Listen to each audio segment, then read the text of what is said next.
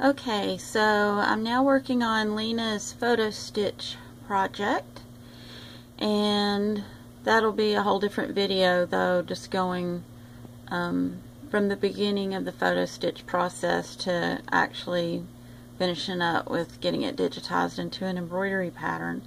But anyway, this is what I've got right here. Um, over here on your left hand side you'll see that's all the different colors and for what each color is for and over here is your color guide. Um, Lena is actually a rather pale child and her hair is actually lighter than this just in the photo. It looked darker. So I'm actually gonna switch up my colors a little bit. Um, I've noticed that I usually end up switching out colors on all the ones I do. So, um, gonna try to lighten up her hair a little bit with the threads. And I'm lightening up the pink because it was actually showing a pretty hot pink on her shirt and her lips. Um, anyway, so what I got going, I usually do that and start looking at my colors and then I try to pick and choose and line up my colors um, to make sure they're all going to fit together pretty well. And this is what I got going on. This, these are all the colors lined up that I'm going to use. So hopefully that's going to turn out good. Another thing I pay a lot of attention to is skin tone. Um, like for instance when I did Ryan, she has more yellow undertones in her skin so I used a yellow backing fabric.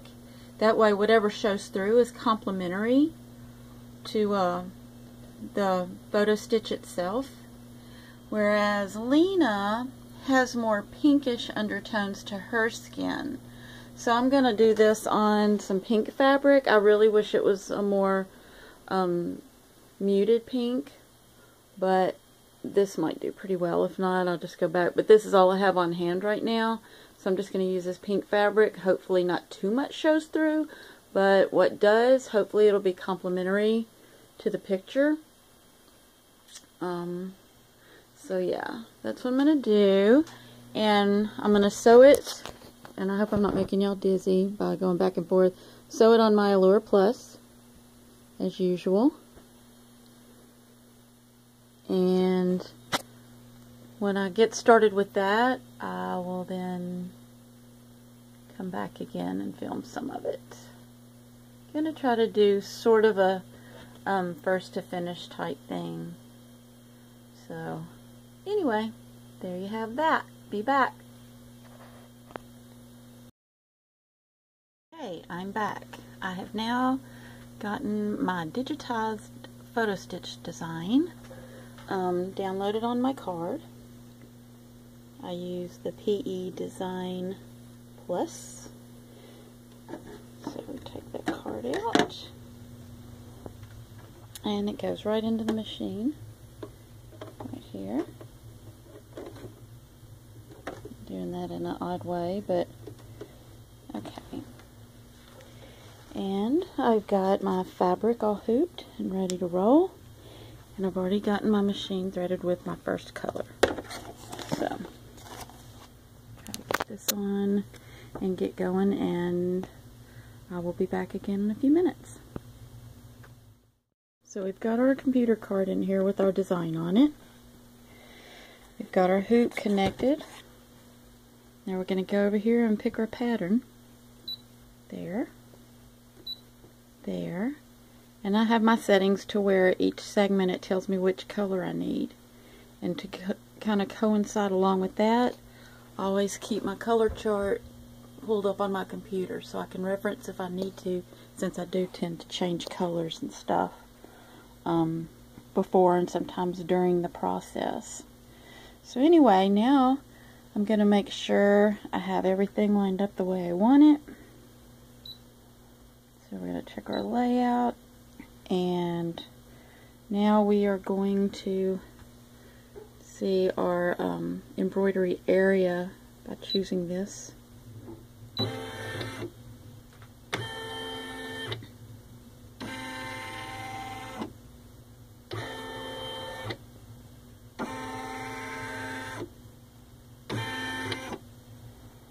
Okay, I'm going to go adjust that a little bit. And because I have a little bit more fabric down on this end than I do on that end. And if I want to add in some, uh, some text, like her name, her birthday, her age, something like that, then I'll have some extra fabric there. So, be right back. Just about ready to start. And before I do, though, let me just talk about stabilizer for a minute. I really didn't feel like fighting with um, tearaway today. Plus, I wanted a super, super smooth surface to work with with no gaps or bunching or anything like that. So I opted for the iron-on stabilizer. I usually like to put a couple of layers of that when I'm doing something like this. Um, it adheres really well, but it also comes off really well too, very easily. So anyway, let's get started.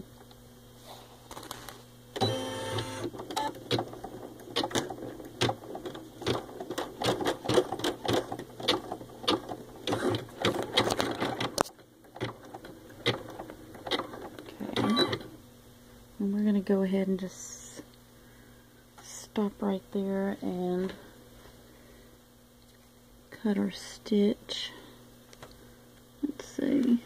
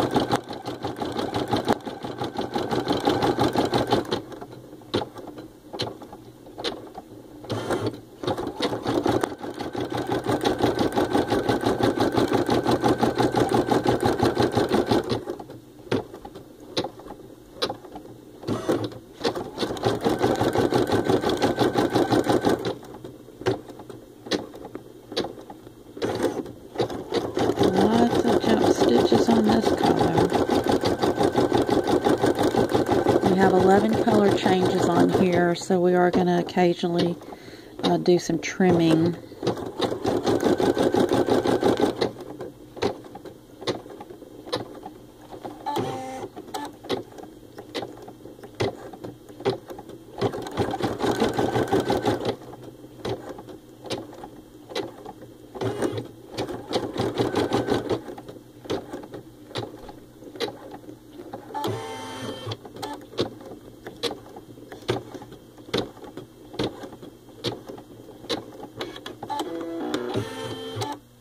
Okay, I'm going to turn it off for a minute and switch over to our cream yellow and then we'll get back to it. Okay, back again and we're ready for our next color. So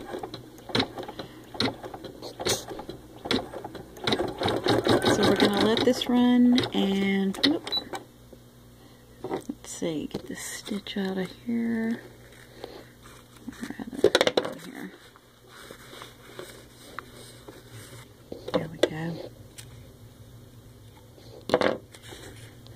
Twist it around there. Okay.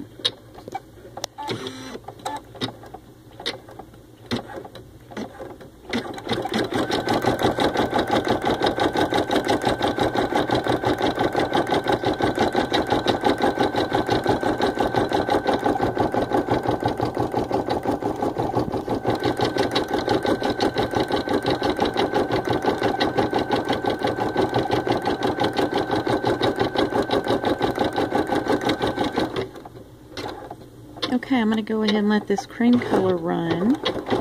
And I will be back when it is time for our next color change. And hopefully there won't be any issues between now and then. Okay, time for our next color. And what I'm probably going to do is go ahead and get through several of these colors and then come back because otherwise it's going to be a really long video and you're going to be bored to death. So um, let's get started on this third color and then we only have like nine more to do.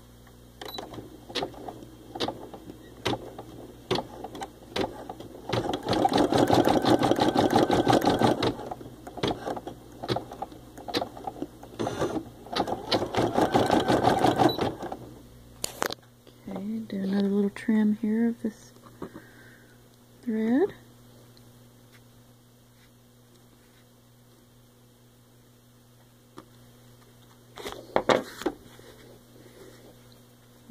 There we go.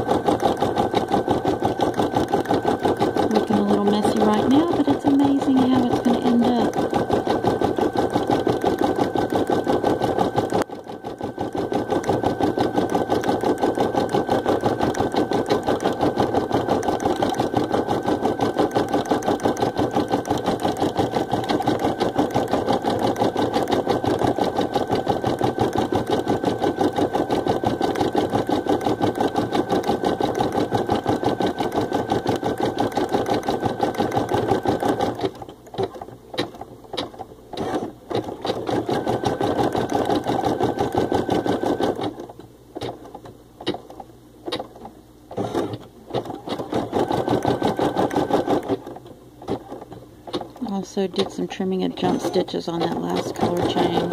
So another color or two, I'll do some more. Okay, be back in a bit. So we're on color number nine now. Just did some more um, refiguring and changed this color to a more golden color. And as you can see, it's really starting to transform into a face. I just wanted to update. I'm going to let this go ahead and run. Do the last few colors, and we will check back again and finish up. So this is the last color. And I have done a lot of redoing, a lot of layering and things like that. Um, original picture turned out a lot darker than what she actually is, so I had to sort of compensate for that. And hopefully this thing's going to come out great. It's looking pretty good so far, so we'll just see what happens at the end. But yeah, this is the last color. Now I'm getting in a lot of the shadowing and all of that.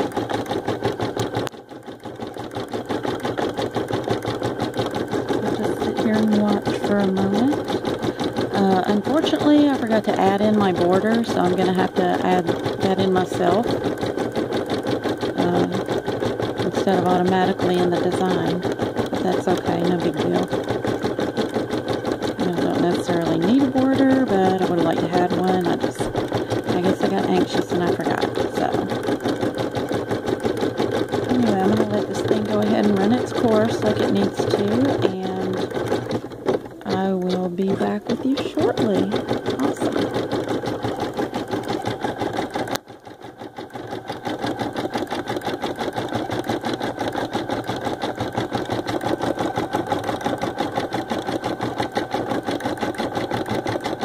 Okay, so we finished sewing. And let's see. Here we go. I've already actually um, clipped the jump stitches and all. But I'm trying to get where you can see it well. But that's Lena. It looks like Lena. It's kind of hard to get it at a really good angle. But up close, just a big old bunch of stitches and then it comes out looking like that. So I think it turned out well. Again, I did a lot of changing up of threads and stuff like that. I tried to get some of the blondness that's in her hair in there because this really had it showing up very dark. But uh, I think it turned out nicely. There, let's see. to, I need to get it out of the frame and stuff too. I'll post a picture along with this um, after I get it in a frame and all anyway, that's it.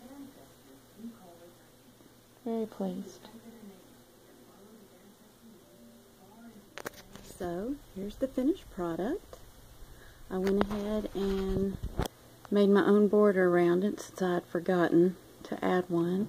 So I made a border and I stuck it in a frame and voila! There it is. And I'm pretty well pleased with it.